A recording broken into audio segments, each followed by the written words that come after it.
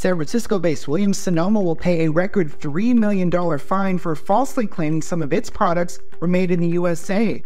The penalty against Williams Sonoma was the largest ever fine for fraudulent Made in USA labels. But they're not the only ones deceiving consumers. There's N95 mask manufacturer ALG Health, and glue maker Chemence, and Japanese tractor and mower manufacturer Kubota.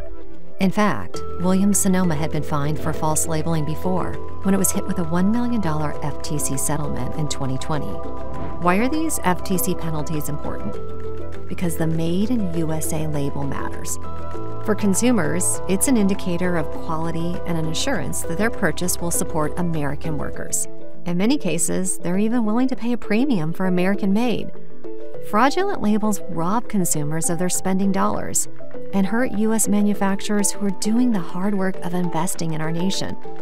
This is why the FTC's enforcement is a victory for American manufacturers. But we can do more. Case in point 83% of Americans support requiring online retailers to display products' country of origin info, just like brick and mortar stores do. In 2023, members of Congress introduced a bipartisan bill to do just that. Americans really do have a right to know where the products they buy are being made, whether they're being made right here in America by American workers or not. Want to help?